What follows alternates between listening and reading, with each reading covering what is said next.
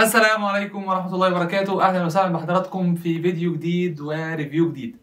النهاردة الحلقة أظنها هتبقى ممتعة جدا لكل حد بيحب يشرب أي مشروب فيه لبن. لأن النهاردة إحنا هنتكلم عن أفضل طرق لتفويم اللبن. عندنا tools كتيرة موجودة في السوق ويا ترى إيه أفضل وسيلة إن أنا أفوم بيها اللبن؟ طبعا إحنا هنتكلم على ال tools العادية مش ال steamer اللي بيبقى في ال machine. هنتكلم على ال tools العادية اللي في متناول الإيد كلها. عندنا إيه ال tools اللي موجودة اللي هنتكلم عنها النهارده؟ أول tool وأشهرهم وتعتبر أرخصهم وهي مضرب الكابوتشينو اللي إحنا بنشوفه في السوبر ماركت وكلنا طبعا عارفينه بيتباع بحوالي 25 35 50 فكرة عمله إنه بيتحط فيه حجر اللي هو البطارية بتاعتنا القلم وبتدوس على الزرار. بيشتغل معاك. تفصل الزرار ويفصل معاك. طيب ده أول حاجة هنتكلم عنها النهارده. الوسيلة الثانية أو التول الثانية تعتبر شبيهة جدا بالوسيلة دي ولكن أكثر احترافية وهي الميكسر اللي بيشتغل بالكهرباء.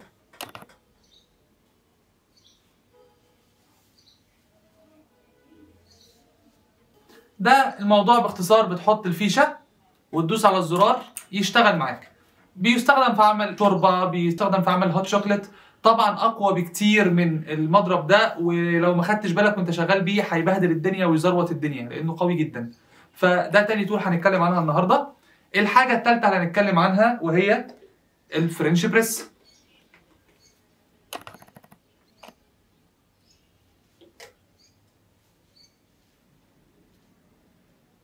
ال French press أصلا معمولة عشان تعمل قهوة فرنسية. ولكن إحنا بما إننا مصريين فإحنا ما شاء الله علينا ومش إحنا بس والله بره كمان بيستخدموها في عمل تفويم للبن.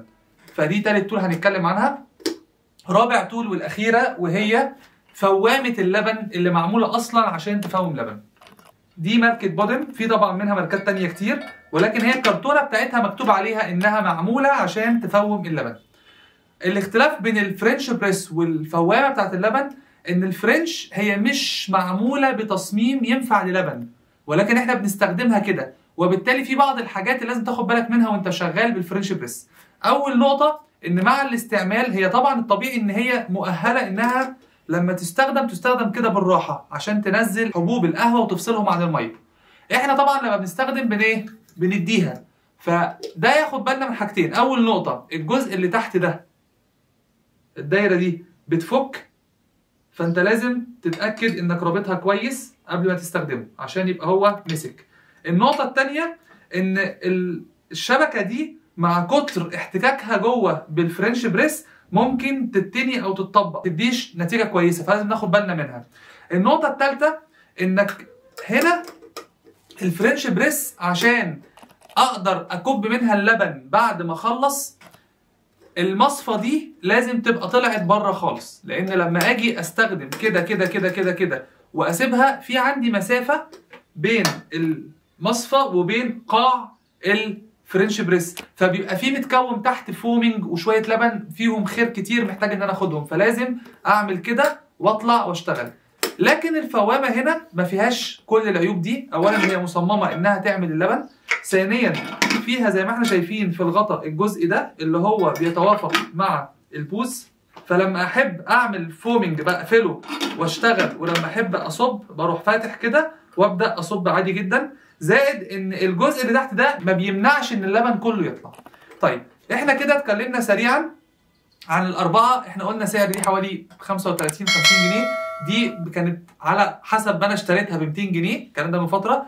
ال French press على برضه ما أعرف إن هي أسعارها من 150 200 300 400 على حسب الحجم وال design ال foaming دي أنا كنت جايبها ب 500 جنيه من فترة برضه كبيرة يعني وعارف إنها تبقى أغلى شوية. فدي كده الأسعار بتاعتهم. خلينا دلوقتي نجهز آه لبن ونعمل تجربة. هنعمل إيه؟ هنجيب نفس كمية اللبن الأربع tools ونفس ال time للتشغيل ليهم ونشوف أفضل نتيجة هتبقى عاملة إزاي. فهنجهز الحاجة ونرجع لكم فانتظرونا.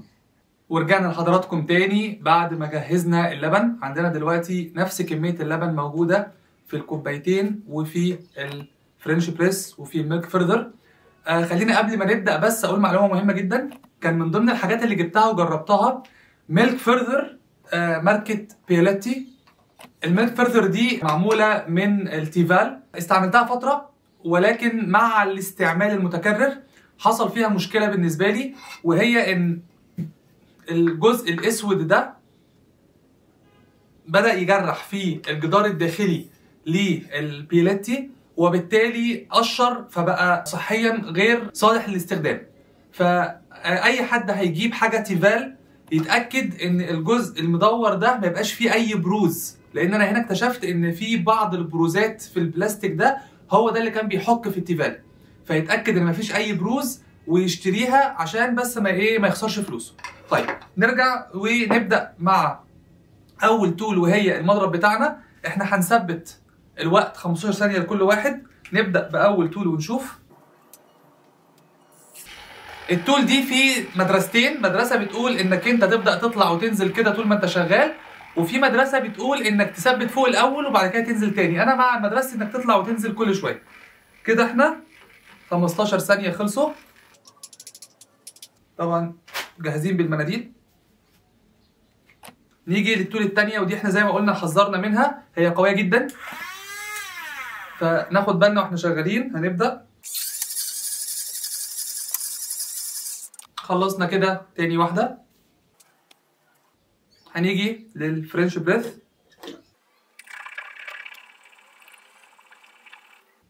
تمام؟ وزي ما قلنا لازم نفتح الغطا الأول.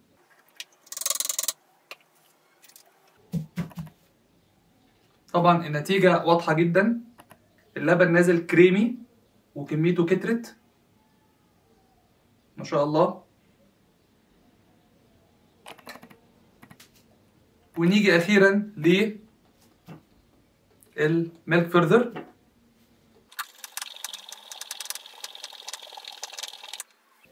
هنا زي ما وضحنا مجرد بس بنفتح الغطا ونبدأ نصب. نفس الفكرة نازلة كريمي برضو.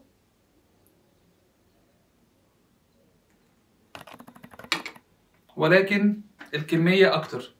يمكن الصورة كده واضحة لحضراتكم إن أكتر كمية فوم اتعملت كانت بالميلك فيرذر تليها الفرنش بريس تليها المضرب الحجارة وأخيرا مضرب الكهرباء. طيب عشان نشوف النتيجة أكتر أنا مجهز معايا شوت إسبريسو هنبدأ نحط شوية ونشوف الفصلة بقى هتمشي إزاي.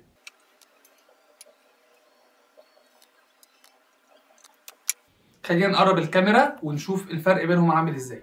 زي ما حضراتكم شايفين هنبدأ مضرب الحجارة عبارة عن شوية فوم وتحتيه الإسبريسو اختلط باللبن فبقى أكثر إن هو يروح للكابوتشينو. المضرب الكهرباء نفس الفكرة ولكن ال foaming أقل و ال French press طبعا عمل الثلاث طبقات بتوعنا. تحت اللبن وفوق الإسبريسو وفوق اللي هو الكريمي أو الفوم. وأخيرا ال milk frother وزي ما أنتم شايفين الشكل الرائع. أنا مش محتاج أتكلم عليه يا جماعة المنظر عامل إزاي. فده كده شكلهم هم الأربعة. كده أظن النتيجة وضحت لحضراتكم. لو هنتكلم عن مميزات سريعة طبعا ميزة المضرب ده إن هو حجمه صغير مش مكلف. وسهل الاستعمال. نتيجته نوعا ما مرضية لو حضرتك بتشرب كابوتشينو. لو هتعمل لاتيه ومحتاج اللبن يبقى كريمي يعني مش دايما بيظبط معاك. مضرب الكهرباء طبعا يعني أنا ما ب recommend وش خالص بصراحة. وخصوصا في الأحجام الصغيرة يعني كل ما كان حجم اللبن قليل أو ال liquid قليل مش هيدي معاك نتيجة. زائد إن سعره نوعا ما غالي زائد إنه بيحتاج مصدر كهرباء ممكن ما تبقاش متوفرة. فأنا ما ب recommend ش المضرب ده. ال French press طبعا الأداء بتاعها كان مرضي جدا مع العلم إن إحنا ناخد بالنا من بعض ال trick ات اللي قلنا عليها. ولكن هتديك آه كريمي كويس هتديك فوم كويس زي ما حضراتكم شايفين. طبعا ال milk frother أنا بالنسبة لي تعتبر أفضل اختيار زي ما حضراتكم شفتم دلوقتي لأنها هي مخصصة للموضوع ده. وبالتالي هم عملوها بطريقة ترضي الجزء ده. فده اختياري الشخصي. أنا عامة لما بستخدم بستخدم ال milk frother أو ال French press أو مضرب حجارة. ف كده أظن النتيجة وضحت لحضراتكم وإجابة سؤال كتير ناس بيسألوه. أرجو إن الحلقة كانت مفيدة لحضراتكم والمعلومات اللي فيها كانت مفيدة. اشوفكم إن شاء الله في فيديو جديد و review جديد. تنسوش ال subscribe وال like وال share سبحانك اللهم وبحمدك أشهد أن لا إله إلا أنت أستغفرك وأتوب إليك. والسلام عليكم ورحمة الله وبركاته.